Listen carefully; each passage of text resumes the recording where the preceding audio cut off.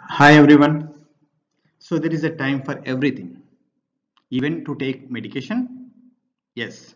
So today we are going to discuss about the chronopharmacology. This is Dr. Manohar from VJS College of Pharmacy. So here we'll address the basic questions. Why allergic rhinitis is worse in early morning? Why the most heart attacks happens in the morning? Why rheumatoid arthritis intense pain observed in the on awaking? Why osteoarthritis pain observed in the late portion of the day? Why lipophilic drugs should be given in the morning? Why peptic ulcer pain is intense in the morning? Like this. In this topic we are going to cover the circadian rhythm, pathways of circadian rhythm, types of rhythms, and physiological functions showing circadian rhythm and diseases known to display a circadian rhythm, pharmacological applications of various categories of the drugs, antibiotics, antihypertensive, etc. and pharmacokinetic parameters. So we are going to discuss ADME parameters. Chronopharmacology is a science concerned with the variation in the pharmacological actions of various drugs over biological timing and endogenous periodicities. Investigation of the drug effect upon rhythm, rhythmic characters. It provides most favorable conditions for drug effect for improving treatment.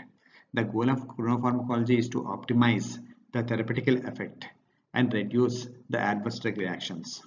So chrono means time.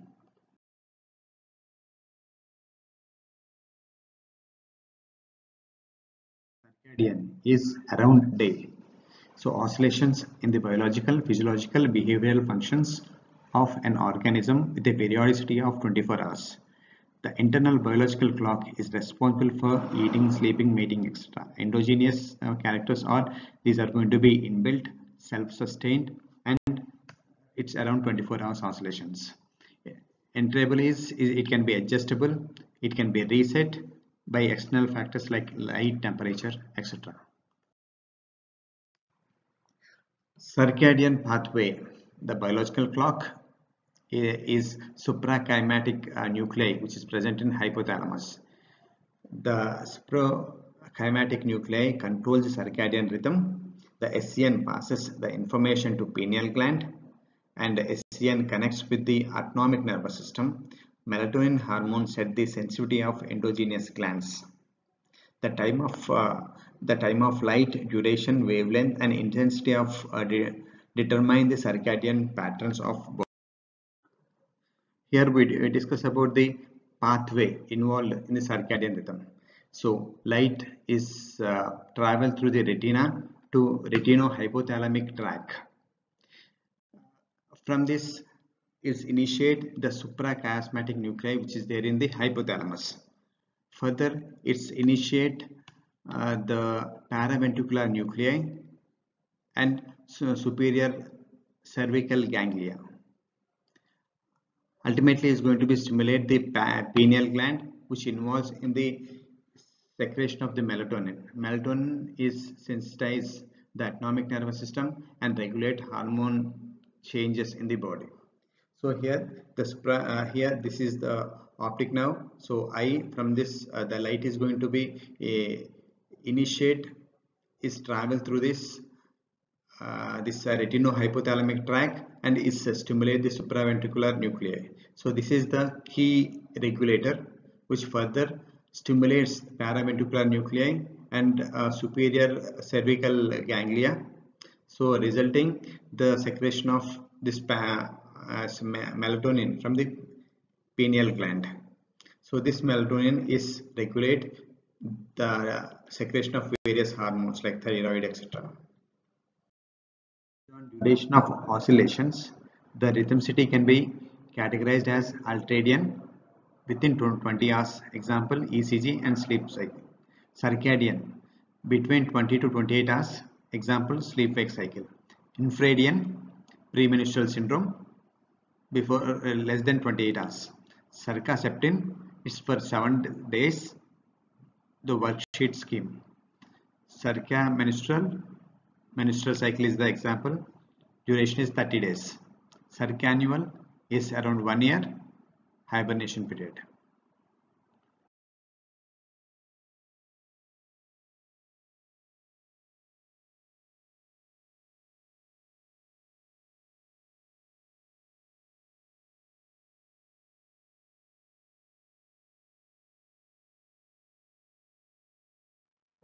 Secretion of hormones follows circadian rhythm. Most of the hormones are secreted during the sleep. Example ACTH, follicle stimulating hormone, uh, and cortisol, aldosterone, etc. Some of the hormones may secrete in the daytime, insulin. The diseases is is there any connection between the time and diseases? Yes there is. Exactly there is a connection. So peptic ulcer disease can be seen because the high acid secretion is going to be present at the midnight. So obviously the peptic ulcer pain is going to be high at uh, night then congestive heart failure because the the sympathetic and parasympathetic tone okay? So there is a chance of uh, congestive heart failures in the early morning around 3 4 around.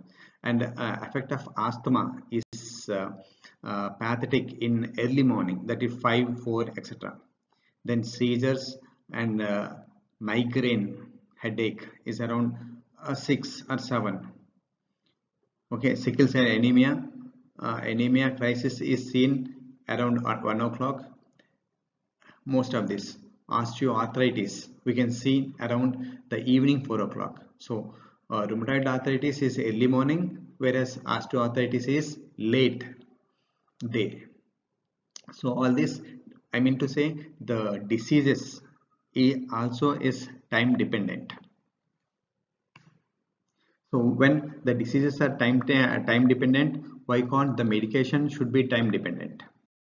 Keeping this in view so we'll see what are the best time of administration of these various categories of the drugs. The antibiotics aminoglycosides, gentamicin, tobramycin, amikacin, this has the renal toxicity.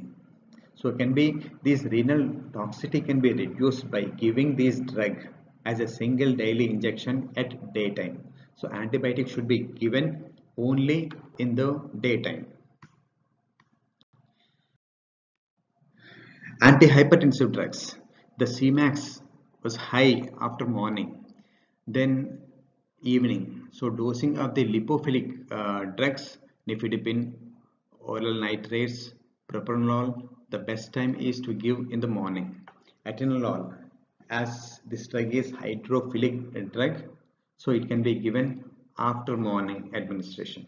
The AC inhibitors were found to be safe and effective when administered at bedtime when compared to the morning. So depending on the category of the drug we are using, the administration of the drug should be varies so that we can have the best therapeutical out outcome. Anti-cancer drugs. The activity of dihydropyrimidine dehydrogenase in human mononuclear cells increases by the 40% around midnight. This enzyme brings about the intracellular uh, catabolism of 5-fluorouracil and contributes to the improved tolerability of this drug between uh, uh 12 o'clock to 4 o'clock in the morning. So the best uh, time to give this 5-fluorouracil is midnight 12 to 4 o'clock. Then heparin. Even if given at a constant infusion rate, the risk of bleeding is varies it's uh, the day is higher at night. So all this heparin drug should be given in the daytime because the bleeding chances are high in the night times. The topical steroids the anti-inflammatory action is maximum in afternoon. So steroidal drugs should be prescribed in the afternoon. Local anesthetics. The duration of the local anesthetics was longest when applied around 3 p.m the plasma levels of lidocaine were significantly higher in the evening than any other daytime. So here all this uh, lidocaine drug should be given in the evening. Antipsychotics. Chlorpromazine would be most effective in producing sedative and antipsychotic effect when administered at midnight. So all the antipsychotic drugs it is it is advised to give in the midnight for the better therapeutic activity. Haloperidol administration in the evening would be best for the obtaining either sedation or antipsychotic effect. Opioid analgesics. The stronger analgesic effect were observed when uh, tramadol and dihydrocodeine were given in the evening to relieve pain. So peak morphine use occurred at 9 a.m. and least use at uh, 3 a.m. A recent study meperidine reveals a circadian variation of the meperidine-induced analgesia in sickle cell anemia patients. The maximum analgesic effect occurs with the morphine dose. So it is always advisable to give the opioid drugs in the evening for the best effect.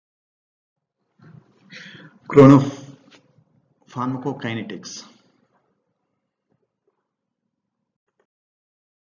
Okay, let's see whether the pharmacokinetic parameters shows any application in chronopharmacology. So we are going to discuss about the absorption, distribution, metabolism and elimination.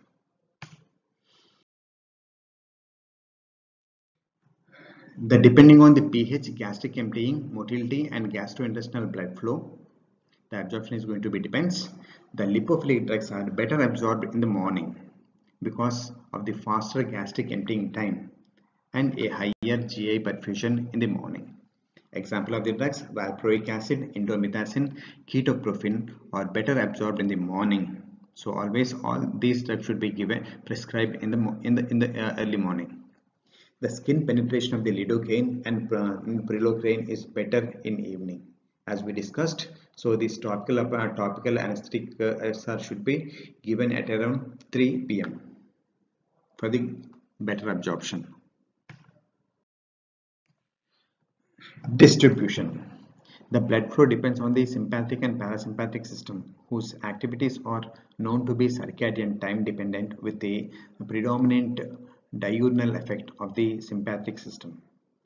A diurnal increased and nocturnal decrease of the blood flow and local tissue blood flow may explain a possible effect in the drug distribution depending on the dosing time.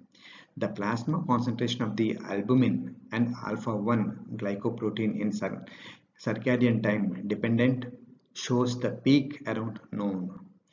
Therefore, the drug should be plasma protein like valproic acid, carbamazepine, diazepine, all these should be have increase in free fraction at night.